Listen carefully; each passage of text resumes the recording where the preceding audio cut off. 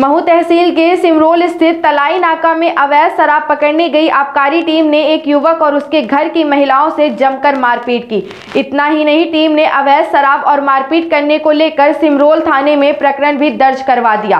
पूरे मामले में आबकारी अफसरों की माने तो आरोपी ने टीम को आते देख अवैध शराब फेंक दी थी और कर्मचारियों से मारपीट भी की। मामले का वीडियो अब वायरल हो रहा है। दरअसल सिमरोल थाना क्षेत्र के तलाई नाके में कच्ची शराब पकड़ने गई आबकारी टीम पर शराब बेचने वाली युवक और टीम के बीच हाथापाई हो गई थी। इस दौरान आबकारी विभाग के एक आरक्षक की वर्दी भी फट गई। दरअसल घटना गुरुवार शाम की बताई जा रही है, लेकिन घटना का वीडियो वायरल हो रहा है। शराब बेचने वाले राहुल पिता गोकुल लोधी नामक युवक के घर आबकारी टीम ने गुरुवार को दबिश मारी थी।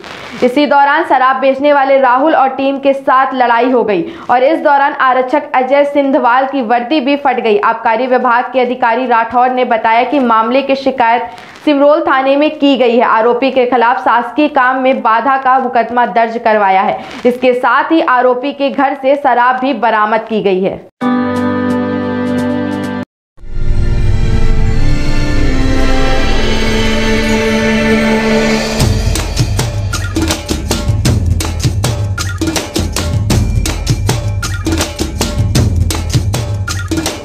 इतने सुंदर सुंदर गहने लाए।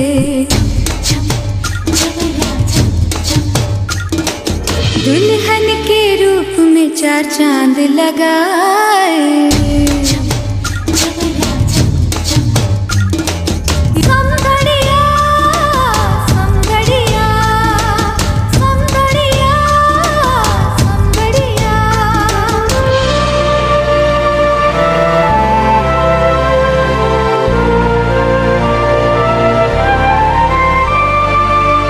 के रिश्ते को और गहरा बनाए। समदड़िया आभूषण का जादू है छाए।